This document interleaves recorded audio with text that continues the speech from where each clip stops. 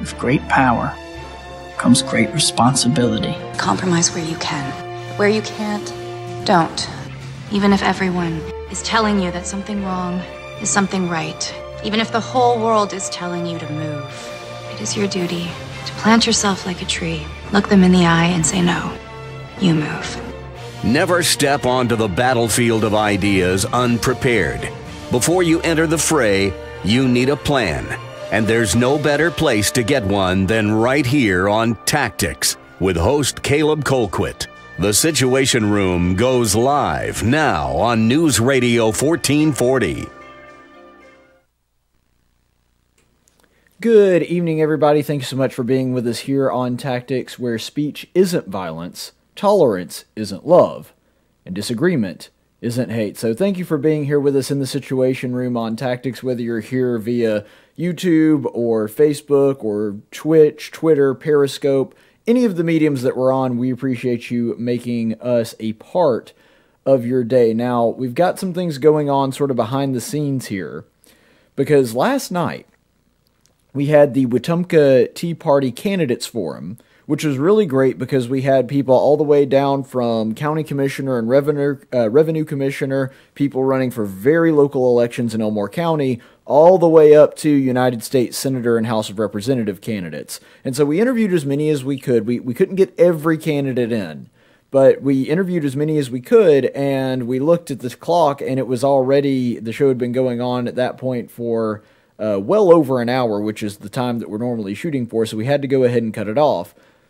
The response was so overwhelming, and I think this is a testament to the Wetumpka Tea Party as well as the candidates themselves that there were so many candidates that wanted to be on the air with us that when we shut it down, there were still a couple candidates that had not been interviewed that wanted to. And so what I did was, since I had already closed out the show, already run the credits and everything, I said, I tell you what we'll do. Go ahead, we'll get you on the air, and then we will run your interview tomorrow. And so that's what we're going to be doing today. We've got a, uh, a couple of candidates that their interviews were a little bit late. And uh, I was very tired last night because it was a very long evening and I spent pretty much the entire time flapping my gums. Uh, but what we're going to go ahead and do here is we're going to go ahead and give you that interview. Hopefully, it will be as informative as the other ones were. Here it is.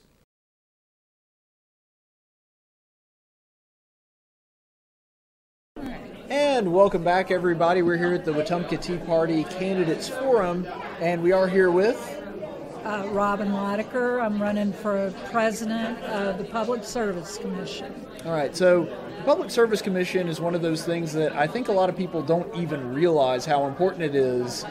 And uh, if you could just sort of communicate to the audience what all the Public Service Commission does and, and why it's important to have people in office that will make decisions because that is something that affects their life in a very personal way. Oh, it is, and, and, I can't believe how many people have walked by me tonight and they've gone, "Well, I'm embarrassed, but I don't really know what the Public Service Commission is." Right. And it regulates utilities, transportation, telecommunication. Right. And it's supposed to be the people's voice between them and say the utilities. Right. And that's really what I want to do in office. I want to bring it back to where it's actually representing the people.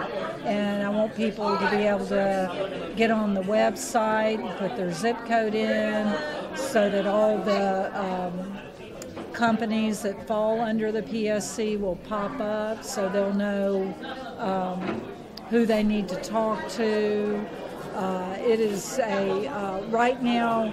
The website's kind of a mess. Um, you, it's just really hard to tell what's going on with it. I want to. So it's just not navigable.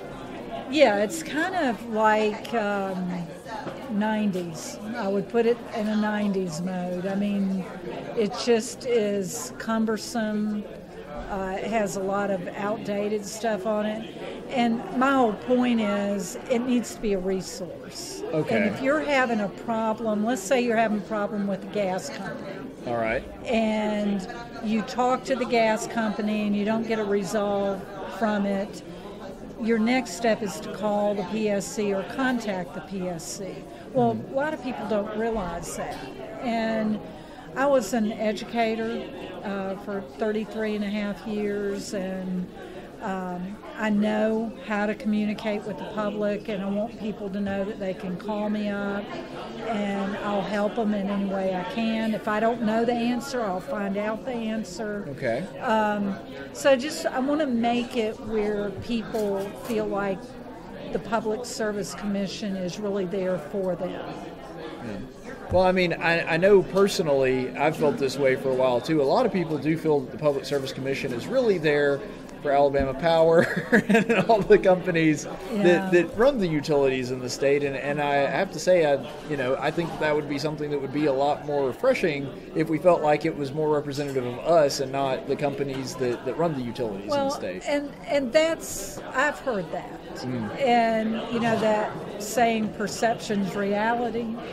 I mean, it shouldn't be perceived that way. right. And if you know that's how it's being perceived, why aren't you doing something to change it? So I want to do things like I'm going to publish every month uh, who I talk to, when I talk to them, why I'm talking to them, how I vote, why I vote the way I do. Um, I want to make it truly transparent because you know people get. I'm not a politician um, public servant. So, you know, people get in office and you don't hear from them again until four years later when they tell you how transparent and um, accountable they are, yet we don't know, you know. So I, would, I just want to bring a level of transparency to public service that we've never seen before. My inspiration, you know, you look at our president, look what he's done, and he stands up for us and he does the right thing.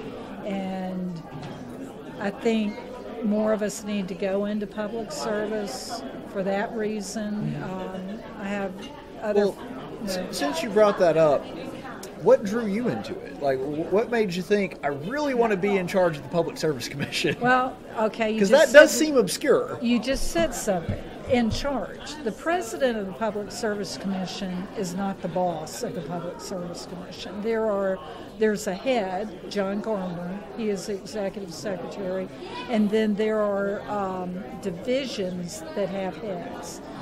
The president of the Public Service Commission, along with the other two commissioners, are supposed to be your voice between you and say the utilities, and there's supposed to be a balance there. Okay. And I've just, since I, I was in education, I've stood up to powerful lobbies and lobbyists before, and I, I just think that it's time that we have people here at the PSC who are willing to stand up for us. And four years from now, I shouldn't have to sit here and tell you what I've done. You ought to already know. And that's that's what I want to bring to it. All right. So, Right. if somebody were interested in your campaign, they wanted to support you, they wanted to learn more about you, where would they go to do that? Uh, best place, I do have a website, but if you go to my Facebook page, elect Robin Litaker, Alabama Public Service Commission, and like it. If you want to send me a message, send me a message. I, I, I'll call you.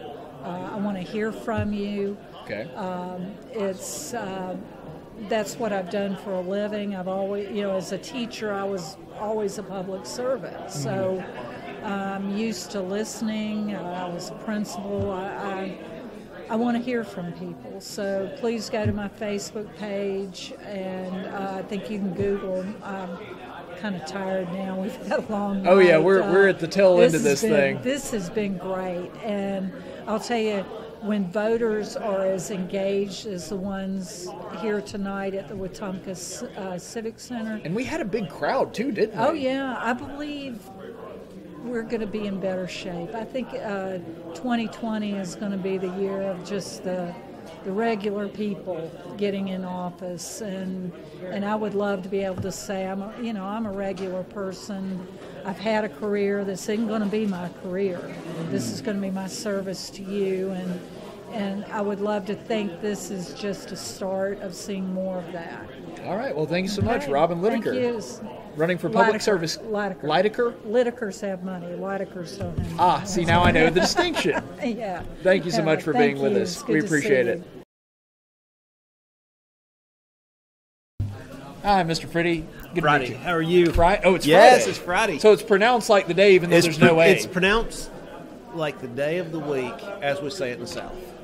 ah, Friday. Friday. Friday. Yeah. I get Freddy all the time. I answer to anything. Okay, yeah. Well, I'm Colquitt. Nobody ever knows how to pronounce my name. I mean, my listeners do, but that's only because I'm talking to them, not you know on Sure. on- but you know. Sure. Anyway, well, thanks so much for being with us, and uh, you're running for Civil Court of Appeals. Court of Civil Appeals. That's Court right. of Civil Appeals. Yes, Okay. place number two. All right. so, um, when it comes to civil appeals, you know that's not a Supreme Court position. It's probably not one that gets nearly the uh, the glitz and glamour. so, uh, try to explain to the average voter Sure.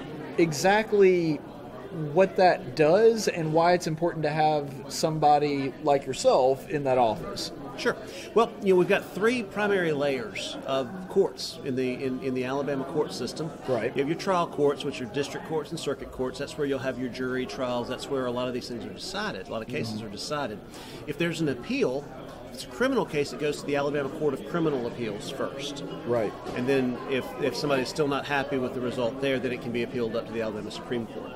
On the civil side, most civil cases go directly to the Supreme Court, but there are certain ones that go to the Alabama Court of Civil Appeals 1st And that's any case involving workers' compensation, any case involving family law or DHR matters, uh, any kind of domestic relations type cases, um, appeals from administrative agencies, and then any uh, civil case involving less than $50,000. Those four kinds of cases go directly to the Alabama Court of Civil Appeals.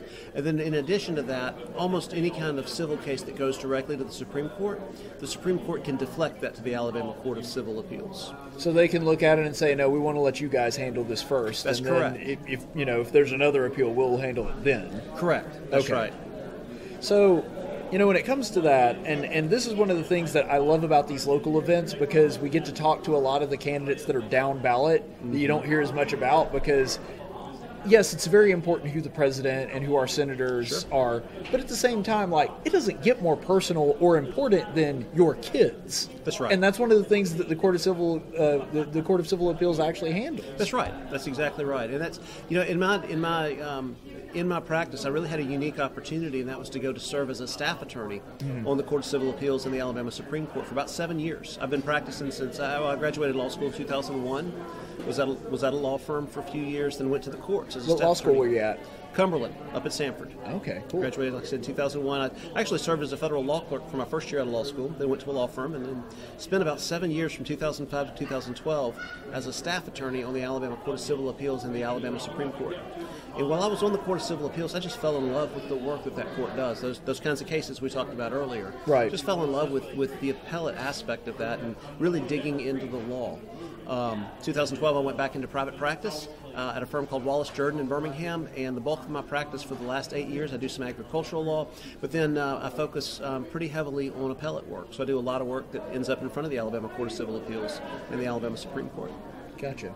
Well, when it comes to the uh, the workman's comp, like I'll be honest, that's an area of law that I'm almost completely unfamiliar with. Sure. So, uh, what exactly would that entail? Is it specifically only things that deal with injuries, or Generally speaking, it's it's on the job injuries. Okay. So employers will have insurance policies, work, workers' compensation insurance policies, and if there's a worker that's injured um, uh, at their place of work Okay. under certain circumstances, it'd be compensable. And so they, they could file a lawsuit against the employer, a work comp lawsuit, and if they could prove that it arose out of and in the course of their employment, then they'd be entitled to, to certain kinds of uh, monetary relief. Now, this is a question that I get to ask a lot, and I, I don't know how much it affects. Uh, but well, I'll just go ahead and ask it uh, without all the, the rigmarole.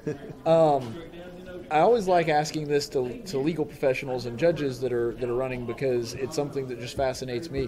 What would you say your legal theory falls? Would you say that you're more of an originalist? Um, would you say that you're a, a textualist? Like, wh- where would you say that your um, your legal theory kind of springs from. Sure, I think that's a great question, and I'm an originalist and a textualist. Okay. And those those are they can be competing ideas at time, but the, at times. But the way that I marry those is is this. I think the best way to figure out what was originally intended by a lawmaker mm-hmm. or by lawmakers is to look at the words that they used. But there are times that words take on different meanings over time. Sure. If you want to know what a lawmaker meant, uh, if you want to know the, the, the, the, founding fathers when they drafted the Constitution and all, if you want to know what they meant, what you do is you look at the words they used and then you open up a dictionary that was written around that same time that the law was passed. And you apply that definition to determine what it was that was intended by the lawmaker.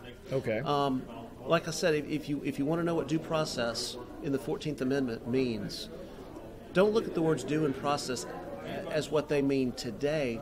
Pick up a dictionary from the 1860s. What does, due, what does the phrase due process mean? And define it that way. That way you can get to the original intent of the drafters, but at the same time you're staying true to the text that they used and the words that they used. So even though they are different legal theories, primarily you're, you're trying to get to the same place using both of them. That's correct. That's, that's exactly right. Right. So when it comes to that, would you say that you're an incorporationalist when it comes to, for example, the Bill of Rights? You know, I think that we have to be we have to be somewhat careful when we start talking. Uh, you know, we can't. Uh, somebody who's running for judge, I can't go too far into my theories. And I understand that. I don't want to get you in trouble. I can't can't uh, can't prejudge any particular case. But I will say this: the due process clause protects us in our life. Mm-hmm. Well, we understand what our life is, our, our property. We understand what that means, but it also protects our liberty. Now, what does that mean? Our life, our liberty, and our and our property. What is liberty? And, and, and through incorporation, we kind of breathe life into what liberty means. And I think that that's been a constant struggle for the U.S. Supreme Court mm-hmm. in determining what the word liberty means. Does it incorporate the right to keep and bear arms? The Supreme Court has said emphatically yes. And not only is that incorporated, it, it, applies to the states, it applies to local governments as well through the 14th Amendment due process clause. So yeah, I do um, believe that incorporation is one tool that can be used to determine what does liberty mean when we talk about you can't be deprived of your liberty without due process of law. I think our, our first eight amendments um, largely you can look to as a source for what, what our founders thought liberty was the right to free speech, the right to free exercise. Right. Those, are, those are liberty interests. And so we can call it incorporation if we want, but what we could do instead is just to look at the word liberty and say, what, what, what, did the founders mean when they said liberty? Well, we've got eight amendments that give us a pretty good idea of their thoughts on what liberty really means. Yeah, well, when it comes to that, um, and again, i I know that this is always a. Di- anytime you, you have a judge that's running for something, it's always difficult to ask questions because you know there's certain things they just can't answer. Right.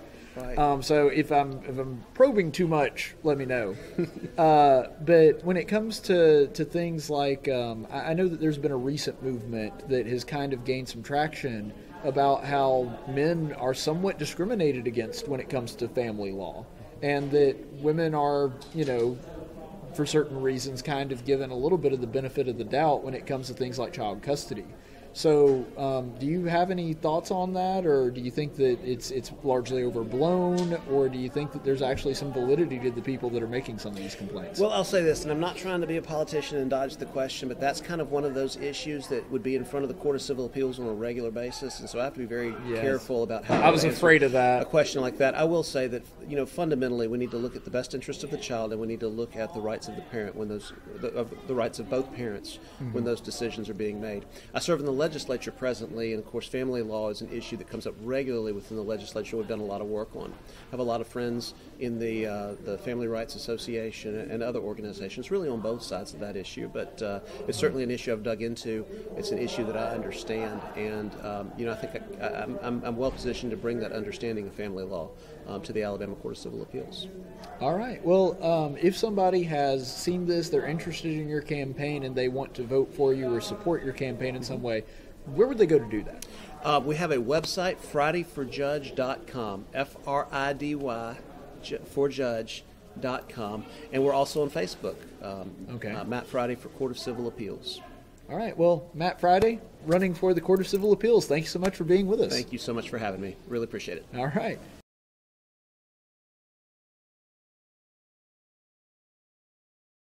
Well, there you have it. That was the Wetumpka Tea Party Candidates Forum. We had a couple extra candidates for you. Hopefully, they've been just as informative as the other. I think seven. We wound up doing, if I'm not mistaken, nine candidates in all, or candidates or people that were lobbying for a particular position. We had a couple that weren't actually uh, candidates themselves. But one of the reasons that we do this, and the reason that we think it's so important, is because especially when it comes to local elections, we as conservatives, we constantly preach to people. And we do it because I think the vast majority of us actually believe this. That yes, it's important who is our senator. Yes, it's important who is our congressman. Yes, it's important who our president is. But that's not the only election that matters. In fact, the way that a federalist or a constitutionalist would look at it, ideally, what we should be striving for is for our local governments and local officials to be the ones that have the primary impact on our life. That, yes, the president and Congress has some impact on our life, but really not much. And unless it's wartime, you would basically not be able to ideally tell the difference between who is president and who is Congress and, and who is not. And so that's what's important. Just like I've always said when it comes to government programs versus charities, if we want the government to do less, we have to be willing to do more.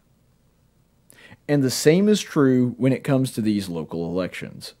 If we want the federal government to quit being the, the sugar daddy, if we want the federal government to quit lording over the states and individual towns, municipalities, counties, all of those things, and, and get more out of the way, get regulation out of the way, then we have to be willing to do the hard work and look down ballot and look at the individual candidates here at the local level because if we want them to have the most power, the most control, and the most direct influence over our lives, which, I mean, I don't want any government to have that much influence over my life, but I'd want the one that has the most to be the ones that are most accountable to me, the ones that I could go just down the road as opposed to having to drive to DC to lobby, and the ones that are going to be most familiar with my personal problems, my community, that kind of thing. And so, if we want the federal government to do less, we have to say that our local government and our state government needs to do the role that currently, in a lot of ways, the federal government is doing. That's why these individual elections are so incredibly important.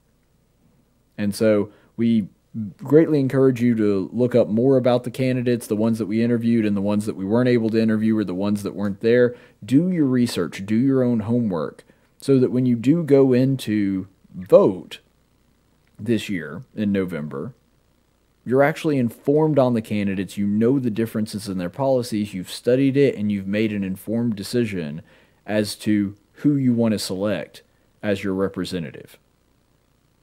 And that's more important at the local level, or at least should be, even more so than it would be for the president or your senator or congressman. That's the country we ought to be striving for.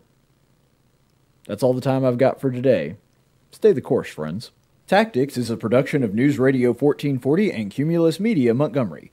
Opinions expressed on this program are those of the host and do not necessarily reflect the opinions of Cumulus Media or our business partners. Graphics by Jessica Dawson. Video production by Jackson Dean. Broadcast studio provided by Faulkner University. Location studio provided by the Dalraida Church of Christ. Copyright 2020.